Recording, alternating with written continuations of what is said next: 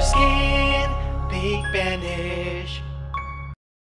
Hi guys, welcome or welcome back to the Acne channel. Callie here, otherwise known as My Face Story for those of you who do not know who I am. And today I wanted to talk about hyperpigmentation, otherwise known as post-inflammatory hyperpigmentation, PIH. Hyperpigmentation and acne go hand in hand. If you have acne, most likely you probably have some form of hyperpigmentation. I want to talk about what hyperpigmentation is, how it differs from a scar, and then some of my top treatments, things that I like to use to treat my hyperpigmentation. So let's get started. First of all, hyperpigmentation is the red mark that's left over after your acne. This mark, it should be flat to the surface. It won't be indented or raised or anything like that. It'll just be a flat, red, sometimes brown mark. And that mark will last anywhere from a month up to, this is facts, up to 24 months. Yes, hyperpigmentation can last a long time. So if you feel like this spot has lasted a year, it actually maybe probably has. so hyperpigmentation differs from scarring in that hyperpigmentation is flat on the skin. It is not an injury to the skin. It has not created any damage and it shouldn't be indented.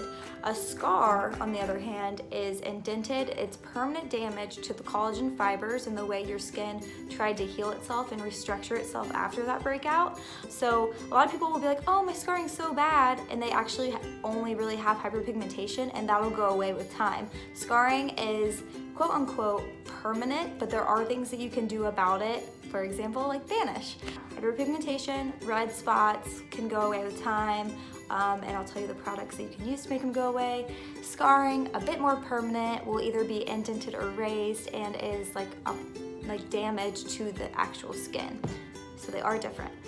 So yeah, that is the difference between hyperpigmentation and scarring. Hopefully I explained that well enough. So let's get into how to treat hyperpigmentation. The first way that you can treat hyperpigmentation is actually to just wait, which seems counterintuitive because you want to put creams and lotions and potions on and have it fade really fast. But sometimes hyperpigmentation just fades on its own. So sometimes you don't need to do anything at all and it'll just go away. For those of you that do want to do something or have very stubborn hyperpigmentation that doesn't just go away, these next tips are for you. The best place that you can start in my my opinion is by using AHAs. AHAs are alpha hydroxy acids. One of the most popular AHAs is glycolic acid. And this is really good starting point um, for a lot of people. AHAs basically speed up skin cell turnover, so they help to get rid of that hyperpigmentation faster. One of my favorite products that has glycolic acid in it is the pumpkin enzyme mask. So that is why that helps with hyperpigmentation so much, discount code Callie. But that will help to improve the look of PIH, post-inflammatory hyperpigmentation, all that jazz. I mean, you can really find AHAs in a lot of stuff. Salicylic acid is another one. Actually, I think salicylic acid is a BHA. But any exfoliating acid really is going to help to speed up skin cell turnover, help to shed the old skin cells, that are on top with hyperpigmentation and reveal new, healthy, bright, clear skin underneath. Three other really popular hyperpigmentation, post-inflammatory hyperpigmentation fighting ingredients are vitamin A, vitamin C, and niacinamide. I'm not gonna go too much into those because there are separate videos on all of those, which we can link down below, but yes, all of those are also really great ingredients. The next ingredient I want to talk about is hydroquinone. This is an ingredient I have seen everywhere and a lot of people really like this ingredient. For me personally, it is um, a little bit too harsh for my skin, but a lot of people do really like hydroquinone. Hydroquinone basically blocks the enzyme that's responsible for melanin production, which lightens the skin. It is a skin lightener. You will see this kind of actually in some Korean skincare beauty products I've noticed and other products like that. But one of the hydroquinone products that I know a lot of people really love is like the Rapid Spot Lightener from Murad. I've used that before, did like it. Again, my skin is kind of sensitive to hydroquinone. Because it is a skin lightener, it should only be applied to the affected areas unless you want your whole, like the whole skin tone will get lighter. So if you had like, you know, two spots, you just put it on there, not your whole face.